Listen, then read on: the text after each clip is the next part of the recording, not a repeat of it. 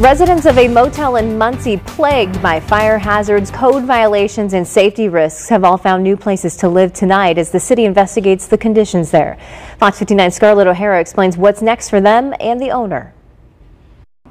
A month ago, the dozens of rooms at Muncie Inn were full of people and families living here full time. Now it's completely empty by order of the city, while its future hangs in the balance. Those who used to call it home weren't surprised when the building was deemed unsafe to occupy last month. And you got to deal with roaches, bed bugs, mice, mold. It's bad.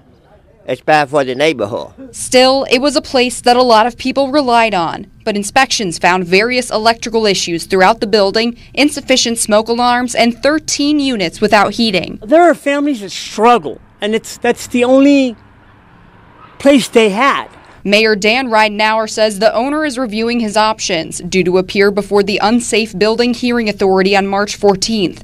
Some people hope to see it closed for good. The hotel needs to be tore down because it's not worth living in. The mayor told us last month the decision to condemn the building wasn't made until city officials made sure there was enough space across all shelter providers and nonprofits in the area for those who would be displaced. He also said he recognized there was a lack of affordable housing options in Muncie when he took office and has been working to fix that. The former Muncie Inn residents we spoke to are grateful for the city's support. I praise the city. They helped people getting out of that nasty. They're doing a whole lot better compared to they got better plays, better living conditions than what they did at Muncie Inn. But some are still concerned the ordeal may not be over just yet. They got put in, you know, emergency housing, and that's good.